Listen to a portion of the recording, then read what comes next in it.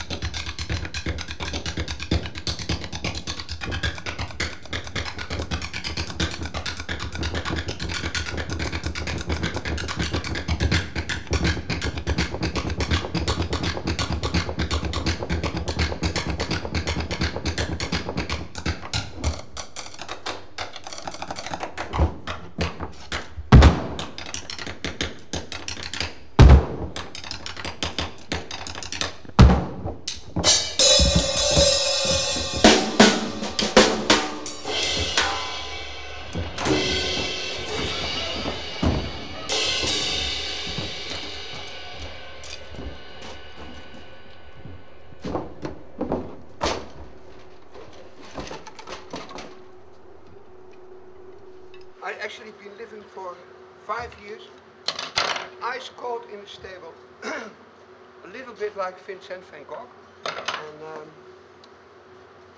the only thing what kept me warm in the winter was playing brushes and uh, wooden shoes. So it, they were especially fl in for me. Hello.